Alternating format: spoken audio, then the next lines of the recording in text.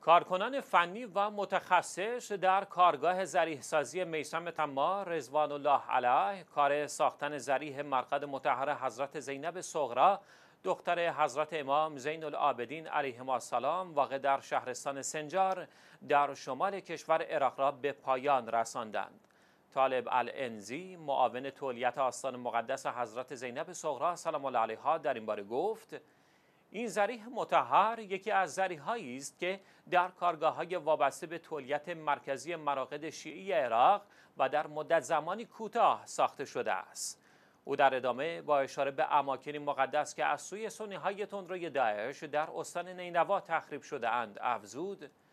خوشبختانه تولیت مرکزی مراقد شیعی عراق در ادامه فعالیت‌های عمرانی خود قصد دارد. همه زری هایی که در استان نینوا آسیب جدی دیده اند را بازسازی کند و اماکن زیارتی را نیز از نو بسازد.